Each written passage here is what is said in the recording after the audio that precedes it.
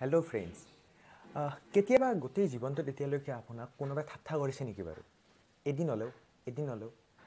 যদি ঠাট্টা কৰিছে বা আপুনি এদিন হ'লেও ঠাট্টাৰ সন্মুখীন হৈছে যিকোনো কাৰণতে নহওক তেতিয়াহ'লে এই ভিডিঅ'টো আপোনাৰ বাবে। আহক ভিডিঅ'টোৰ মূল অংশলৈ আগবাঢ়োঁ। আৰু আমি জানো ঠাট্টা কৰিলে মানুহে আমি কেনেকৈ ৰেচপঞ্চ দিব লাগে আৰু ঠাট্টা আমাক মানুহে কিয় কৰে।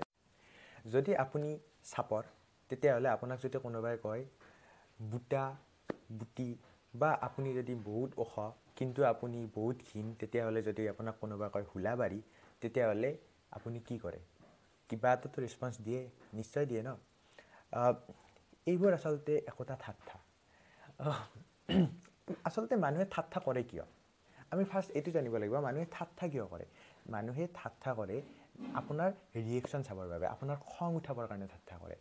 সিহঁতে নিজৰ তেখেতৰ যিসকলে মানে ঠাট্টা কৰে সিহঁতৰ সেইটো সিহঁতৰ নেচাৰ যে আপোনালোকক ঠাট্টা কৰি আপোনালোকৰ খং উঠাই সিহঁতে ভাল পায়। নাম্বাৰ ওৱান ৰিজন আপোনালোকৰ ৰিয়েকশ্যন চাবৰ কাৰণে আৰু খং উঠাবৰ কাৰণে ঠাট্টা কৰে। নাম্বাৰ টু ৰিজন সিহঁতে নিজকে ইনচিকিউৰ ফিল কৰে। মানে সিহঁতে ভাবে যে আপুনি যদি সেইখিনি এৰিয়াত থাকে তেতিয়াহ'লে আপুনি সিহঁততকৈ ওপৰত উঠি যাব আপুনি সিহঁততকৈ কিবা এটা ভাল কৰিব গতিকে সিহঁতে সেইটো নিবিচাৰে আৰু ঠাট্টা কৰি সিহঁতে আপোনাৰ মনোবল ভাঙিব খোজে আৰু ঠাট্টা কৰি পেলাই সিহঁতে আপোনাক সেই এৰিয়াটোৰ পৰা সেই ফিল্ডখনৰ পৰা আপোনাক আউট কৰি দিব খোজে। এইকাৰণে মানুহে ঠাট্টা কৰে। তো এই ঠাট্টাবোৰৰ ৰেচপঞ্চ কেনেকৈ দিব? আপুনি বাৰু ৰেচপঞ্চ কেনেকৈ দিয়ে? তলত কমেণ্ট ছেকশ্যনত নিশ্চয় জনাব।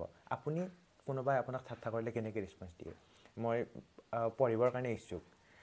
তো মই মোৰ ফালৰ পৰা কেইটামান আপোনালোকক কথা ক'বলৈ ওলাইছোঁ ঠাট্টা কৰিলে মানুহে আপোনাক যদি কেতিয়াবা কোনোবাই ঠাট্টা কৰে তেতিয়াহ'লে তাৰ ৰেচপঞ্চ কেনেকৈ দিব? ফাৰ্ষ্ট অফ অল আপুনি ৰেচপঞ্চ দিয়াৰ তিনিটা উপায় আছে। এটা উপায় হ'ল আপোনাক যদি মানুহজনে ঠাট্টা কৰিলে আপুনিও সেই ৱেত সেই যেনেকৈ ঠাট্টা কৰিলে সেনেকৈ আপুনিও ঠাট্টা কৰিব পাৰে বা আপুনিও খং উঠি পেলাই আপোনাৰ খং উঠাই নিজৰে নিজৰ ক্ষতি কৰি পেলাই আপুনিও তেওঁক ঠাট্টা কৰিব পাৰে বা কাজিয়া এখন হ'ব পাৰে তাত ঠাট্টাৰ ফলত যাই পেলাই লাষ্টত।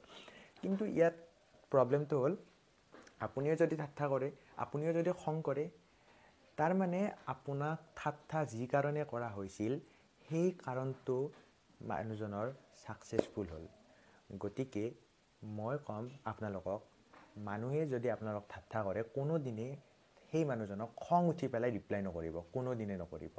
কাৰণ তেওঁলোকেতো তেতিয়া ভালে পাব আৰু তেতিয়া আপোনালোকক বেছিকৈ ঠাট্টা কৰিব।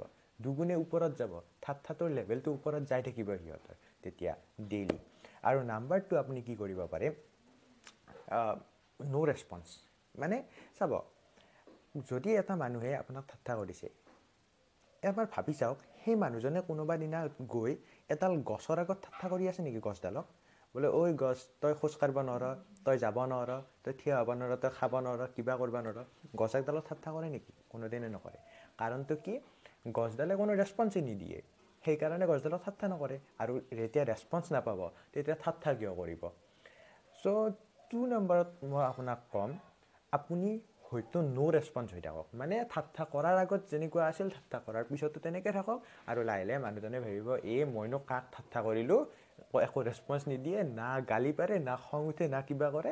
গতিকে মোৰ কাম নহ'ব ইয়াত মই যাওঁ। আৰু নাম্বাৰ থ্ৰী যদি ঠাট্টা কৰে সেই এজন মানুহে আপোনাক তেতিয়াহ'লে একদম ফানি ৱে কিবা এটা হাঁহি উঠা কথাৰে ফাল্টুকৈ গোটেই কথাখিনি উৰাই দিয়ক। তেতিয়া আপোনাৰো ক্ষতি নাই। আৰু মানুহজনে লাহে লাহে ভাবিব এই ইয়াকতো ঠাট্টা কৰি লাভেই নাই ইয়াৰ গাতেই নালাগে আকৌ ই মানে চব হাঁহিয়ে হাঁহিয়ে উৰাই দিয়ে গতিকে ইয়াক ঠাট্টাই নকৰোঁ। সি সি তাৰ পৰা ছাইড হৈ যাব। চ' এই তিনিটা কথাৰ ওপৰত আপুনি এটা কথা মনত ৰাখিব লাগিব আপুনি ন' ৰেচপন্স কেনেকৈ হ'ব পাৰিব? মানে কেনেকৈ আপুনি নিজকে ডেভেলপ কৰিব পাৰিব যে কোনোবাই ঠাট্টা কৰিলে আপুনি একদম ৰেচপন্স নিদিয়াকৈ থাকিব পাৰে বা কেনেকৈ আপুনি গোটেইখিনি বস্তুক এটা হিউমাৰত মানে এটা হাস্যকৰ কথা এটাত চেঞ্জ কৰি ল'ব পাৰে।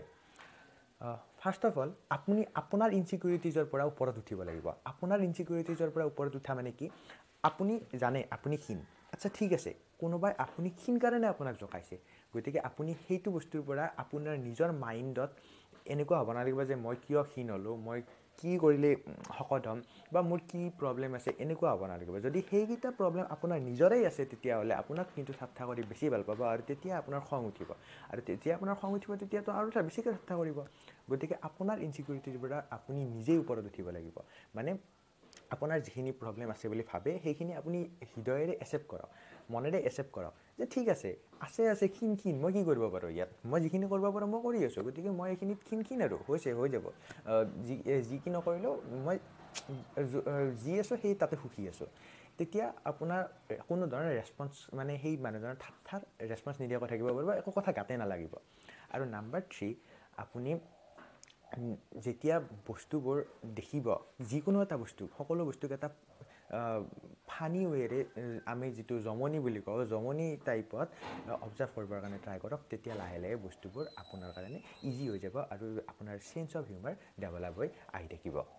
লগতে এটা কথা আপোনাক কওঁ মনত ৰাখিব সদায় কোনো এটা চিটুৱেশ্যন যিকোনো এটা অৱস্থা তেতিয়ালৈ মেটাৰ নকৰে আপোনাৰ বাবে তাত কি হৈছে চিটুৱেশ্যনটোত একদমেই মেটাৰ নকৰে যদিহে আপুনি সেই চিটুৱেশ্যনটোক লৈ ৰেচপঞ্চ নকৰে।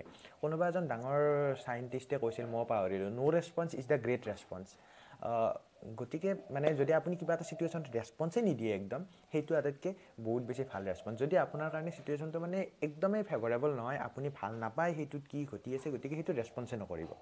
চ' এই ঠাট্টাৰ ক্ষেত্ৰতে তেনেকুৱা। ঠাট্টা কৰিলে জানো কোনোবাই ভাল পায়? গতিকে আপুনি সেইটো বস্তু তেনেকৈ ৰেচপঞ্চ নকৰাকৈ থাকি যাওক। আৰু তাৰ পৰা বাহিৰলৈ গুচি আহক।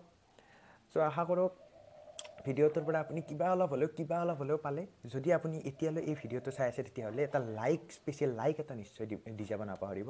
আৰু ভিডিঅ'টোৰ তলত থকা ছাবস্ক্ৰাইব বটনত ক্লিক কৰক। আৰু মই এটা কথা জানো যিসকল মানুহে বেলেগক ঠাট্টা কৰি ভাল পায় সেই ঠাট্টা কৰি ভাল পোৱা মানুহকেইজনে ভিডিঅ'টো ডিছলাইক কৰিব আজি। চাই থাকক। আৰু আপুনি যদি কমেণ্ট কৰে তেতিয়াহ'লে কমেণ্টত আপুনি নিশ্চয় কওক বেলেগে কোনোবাই যদি আপোনাক ঠাট্টা কৰে আপুনি কেনেকৈ ৰেচপঞ্চ কৰে? সেই কথাটো ক'বলৈ নাপাহৰিব। তো ঠিক আছে আজিৰ কাৰণে এই ভিডিঅ'টোত এইখিনিয়ে। ধন্যবাদ ভিডিঅ'টো চোৱাৰ বাবে। আৰু ভিডিঅ'টো শ্বেয়াৰ কৰিব যিমান পাৰে। Thank you learn you be you